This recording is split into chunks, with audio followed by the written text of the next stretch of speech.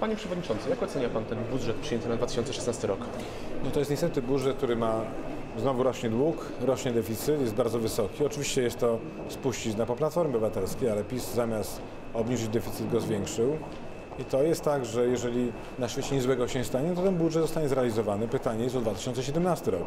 Z czego będzie finansowany program 500+, który ma tutaj w budżecie na 16 rok finansowanie jednorazowe, którego w 2017 nie będzie. Ten budżet y, przewiduje oczywiście też sztandarową ustawę Prawa i Sprawiedliwości 500.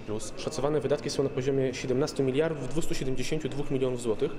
Jak się okazuje, są one nie- niedoszacowane o 230 milionów prawie. To dużo, mało? 200 milionów w przypadku 17 miliardów nie jest wielką kwotą, to jest w ogóle dużo. Natomiast gorszy problem jest jeszcze raz taki, że w 2017 roku nie będzie finansowania z tego przetargu na częstotliwość komórkową, no bo ono się drugi raz nie powtórzy.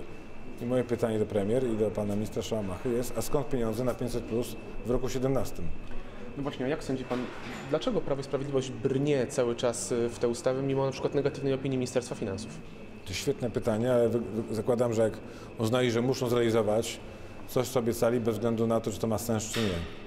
A jak skomentuje Pan kwestię przekazania już właściwie pewną, prawie 20 milionów złotych na uczelnię Tadeusza Rydzyka? Dziwię się, że tak mało, że ryzyk się, ryzyk się zadowala tylko kwotą 20 milionów. Sądzi Pan, że jest to forma podziękowania za kampanię y, wyborczą? A może inwestycja w przyszłość? Dziękujemy bardzo. Dziękuję bardzo.